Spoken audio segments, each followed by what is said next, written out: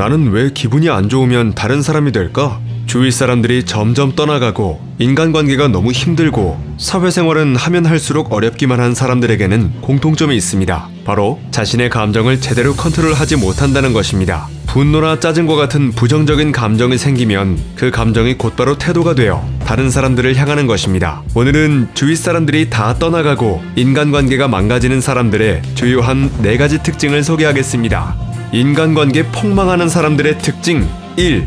상대를 감정 쓰레기통으로 여긴다. 우리는 평소에 습관처럼 부정적인 생각을 하거나 불평 불만을 터뜨리곤 합니다. 무의식 중에 하는 버릇이라 스스로 알아채지 못하지만 버스에 사람이 너무 많아. 짜증나. 왜 이렇게 더워? 짜증나. 와 같이 끊임없이 불만을 내뱉습니다. 그런데 습관적인 불평은 내 하루를 망치고 내 인간관계를 망치며 결국에는 나 자신을 망칠 수 있습니다. 엉망인 하루하루가 모이면 어느샌가 다른 사람들에게 불만이 많은 사람으로 각인되는 것입니다. 무엇이 그렇게 마음에 들지 않아서 불평 불만을 늘어놓았을까요? 사실 시간이 흘러 다시 생각해보면 그렇게까지 거슬릴 일도 아닌데 습관적으로 불평을 내뱉었을 수 있습니다. 사사건건 불평을 한다고 해서 자신에게 이득이 될 일은 전혀 없습니다. 자신이 얼마만큼 불만족스러운지 밖으로 표현해봐야 상황은 전혀 나아지지 않기 때문입니다. 나아지기는커녕 상대는 자신이 감정 쓰레기통이 된 것처럼 느끼면서 결국 멀어져 갈 것입니다. 책 기분이 태도가 되지 않게는 기분에 따라 삶이 좌지우지되는 사람들을 위한 심리학 처방을 소개하고 있습니다. 이 책은 나에게 불평하는 습관이 있는지를 먼저 깨닫는 과정이 가장 중요하다고 말합니다. 나쁜 습관이 있다는 것을 알아야 고칠 수 있기 때문입니다. 불평하는 순간순간을 인식하고 그 상황을 어떻게 바꿀 수 있을지 고민해야 합니다. 하지만 내가 통제할 수 없는 것들에 대해 또다시 불평하고 있다면 그것에 대해 생각하기를 포기하는 것이 현명한 방법입니다. 통제할 수 없는 것 하나하나에 불만을 품기 시작하면 자신을 멈출 수 없습니다. 생각을 멈추고 다른 것으로 시선을 돌리면 그 불만은 어느새 잊혀질 것입니다. 인간관계 폭망하는 사람들의 특징 2. 순간적으로 자주 욱한다. 우리는 내 뜻대로 되지 않는 일이 있다면 순간적으로 버럭 화를 내곤 합니다. 상대방이 내 말을 듣지 않는다고 화를 내고 일이 뜻대로 되지 않는다고 화를 냅니다. 갈수록 성질은 예민해지고 분노는 시도 때도 없이 욱하고 표출됩니다. 왜 우리는 화를 참을 수 없는 것일까요? 사실 상대방은 내 말을 꼭 듣지 않아도 되고 모든 일은 기대하는 대로 착착 진행되지 않습니다. 모든 일이 뜻대로 되지 않을 가능성이 있다는 사실을 늘 인지한다면 화낼 일이 줄어들 것입니다. 그럼에도 여전히 화가 불쑥불쑥 치미는 순간이 있다면 이 순간을 부드럽게 지나갈 수 있도록 도와주는 방법을 익히는 게 좋습니다. 이때 분노를 다스리는 다섯 가지 단계를 알아둬야 합니다. 1단계, 화가 났다는 사실을 정확히 인식하라.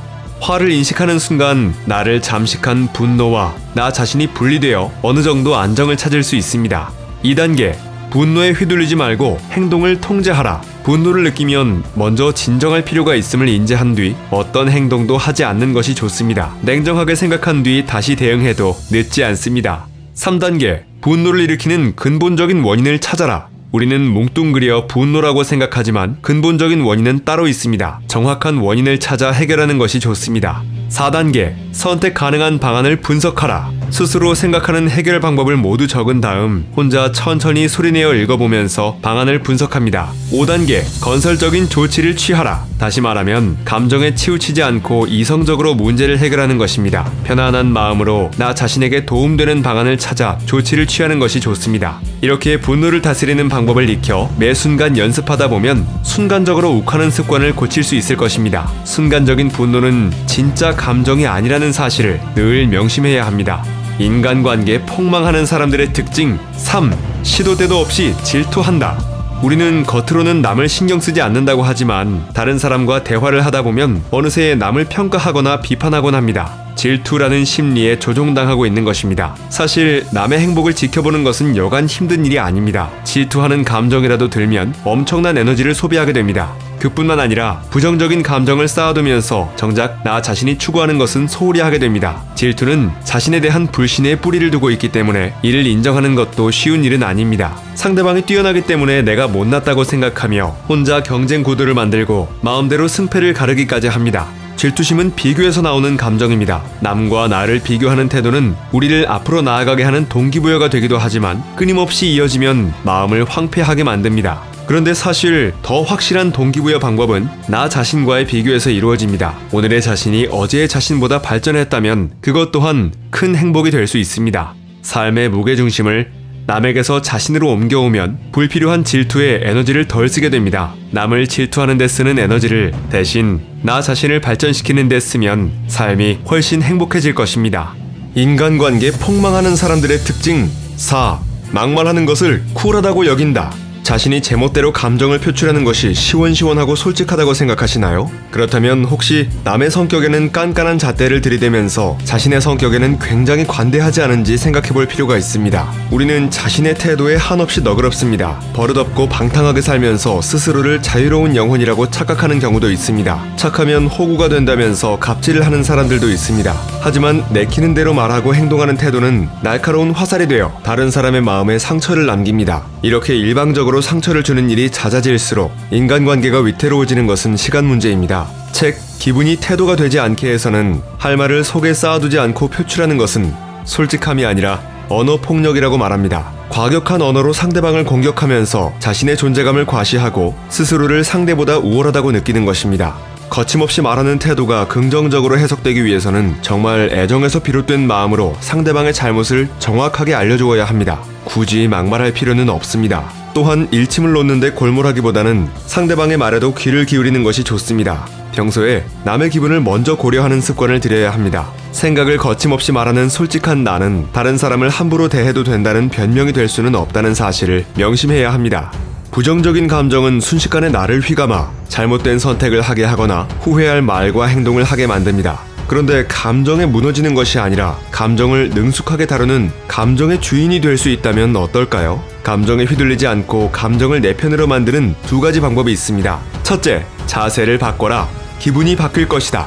몸과 마음은 우리가 생각하는 것보다 더 긴밀하게 연결되어 있습니다. 다양한 감정들이 몸에 영향을 주듯 거꾸로 몸의 자세를 바꾸는 것도 감정에 영향을 끼칠 수 있습니다. 자신감 넘치는 자세를 취하면 실제로 더 자신감을 느끼게 되고 웅크리고 다니던 몸을 곧게 펴는 것만으로 마음속 응어리가 작아집니다. 몸과 마음은 조화를 이루려는 경향이 있습니다. 마음의 상처를 받으면 우리 몸도 그에 따른 변화가 생겨 철저한 방어 자세로 돌입합니다. 열등감에 빠져 있으면 자연스럽게 움츠러들고 고개를 푹 숙이고 손가락을 꼬게 됩니다. 자신감이 떨어져 고개를 숙이고 있는 자신을 발견했다면 억지로라도 고개를 들고 정면을 응시해야 합니다. 어깨를 당당히 펴고 두 손을 똑바로 내리고 심호흡하면 부정적이었던 기분이 순식간에 달라질 것입니다. 둘째, 감정을 절대 억누르지 마라.